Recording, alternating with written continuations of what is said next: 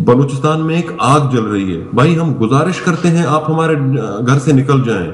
आप यहाँ पर के, किस काम के लिए आ रहे हैं पंजाबी? आप पठान किस काम के लिए आ रहे हैं बलूचिस्तान में? हम जल रहे हैं हम मर रहे हैं। आप आके यहाँ पर कोई दुकानदारी करता है कोई बिज़नेस करता है? हमें भाई आपके बिज़नेस आप मेहरबानी करें। इस वक्त अपना बिज़नेस किसी और सूबे में जाए करें यहाँ पर नहीं करें।